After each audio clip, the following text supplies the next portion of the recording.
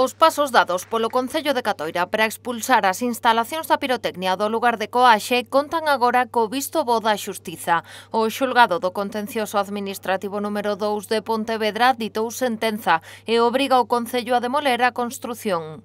O símbolo da loita contra a pirotecnia era esta camiseta, pero eu creo que desde hoxe, en vez de usala, teremos que guardala como recordo para que dentro de anos eh, poidamos decirlle, eh, poidades decirlle ás fillas e aos fillos, oi, mira, estivemos aquí loitando e evitamos con esa loita que se instalara unha pirotecnia que poña en perigo eh, a vida dos veciños de Coaxo. A Xustiza aceptase a reclamación interposta pola plataforma de afectados e ratifica a resolución aprobada pola Xunta de Goberno Local do pasado 15 de abril, cando se declarou a ineficacia da comunicación previa das obras do galpón que ocupou a pirotecnia.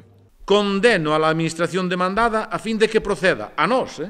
dinos, a nós, que procedamos de forma inmediata a incoar el preceptivo expediente de reposición de la legalidade urbanística frente a las obras ejecutadas. É dicir, temos que iniciar o expediente para que tiren con todo. Iso é o que di a sentenza. E desmonta punto por punto todas as patrañas que se quixeron facer todas. Hoxe o alcalde convocou a varios membros da plataforma para dar a coñecer esta sentenza. Acompañado de dúas veciñas, celebraron o que parece ser o remate desta polémica instalación. É que tivemos un apoio moi importante desde o primeiro día, e iso para nós foi moi importante. Tuvemos que loitar moito, claro que sí, pero loitando, xa vedes, o que pasa, jánase. Dar as gracias a todos os que nos apoiaron, eh, os que sempre viron desde un principio que esta era unha causa injusta, absurda e eh, tremendamente abusiva.